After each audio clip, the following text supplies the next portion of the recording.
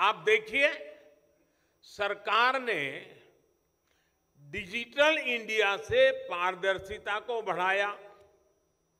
सीधा लाभ हर लाभार्थी तक पहुँचाया।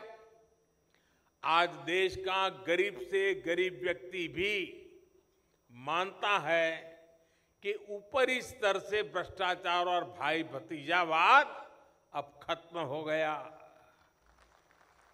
अब जब सहकारिता को इतना बढ़ावा दिया जा रहा है तो ये आवश्यक है कि सामान्य जन, हमारा किसान, हमारा पशुपालक भी रोज़मर्रा की ज़िंदगी में इन बातों को अनुभव करे और वो भी यही बात कहे।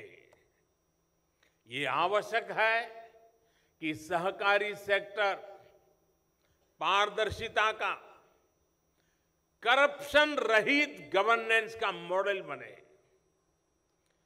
देश के सामान्य नागरिक का कोऑपरेटिव पर भरोसा और अधिक मज़बूत हो। इसके लिए आवश्यक है कि जितना संभव हो डिजिटल व्यवस्था को सहकारिता में बढ़ावा मिले।